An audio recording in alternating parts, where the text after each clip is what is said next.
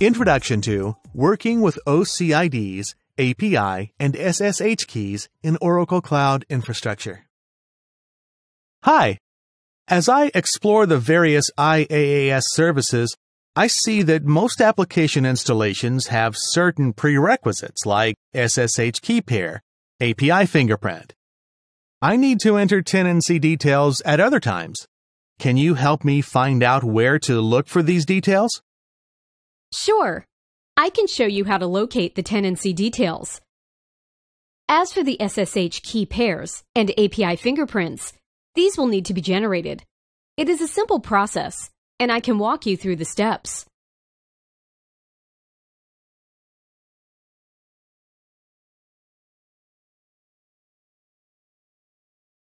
Open the User menu and click User Login ID. The user, OCID, is shown under User Information.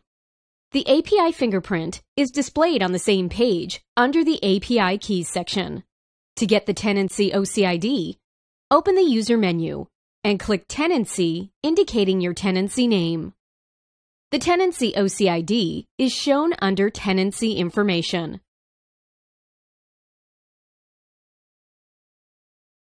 Instances use an SSH key pair instead of a password to authenticate a remote user. A key pair file contains a private key and public key. You keep the private key on your computer and provide the public key every time you launch an instance. How does one create the key pairs? Let's begin by examining the components first.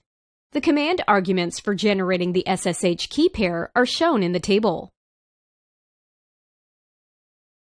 To create key pairs, you can use a third-party tool, such as OpenSSH, on Unix-style systems, including Linux, Solaris, BSD, and OS X. PuTTY, key generator on Windows or Git Bash. We will proceed with Git Bash. To generate the SSH key pair, enter command.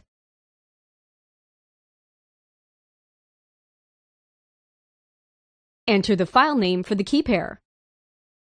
Enter the passphrase if you want to protect the key. For the purpose of this demo, we are not using a passphrase. To see the newly created RSA private key, enter command.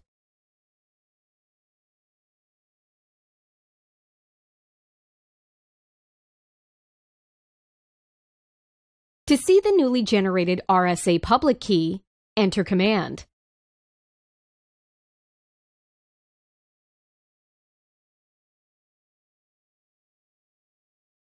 To generate the API key, create a directory called API key using the command.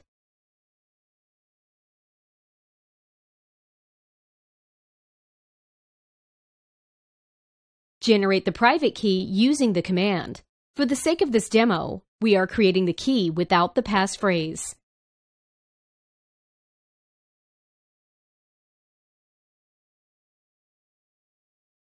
Ensure that only you can read the private key file by using the command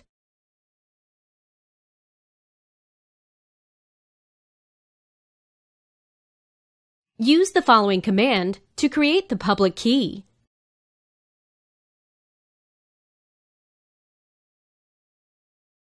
Use the following command to view the public key.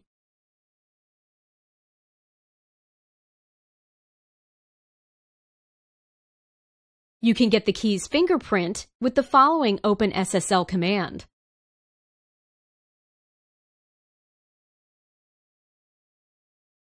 Now, log into the OCI environment, click the username. On the User Details page, click the Add Public Key button. Copy the generated public key and paste the public key in the box.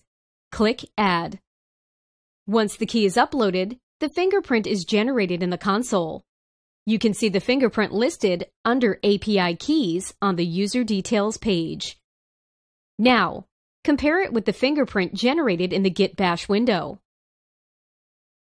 Great!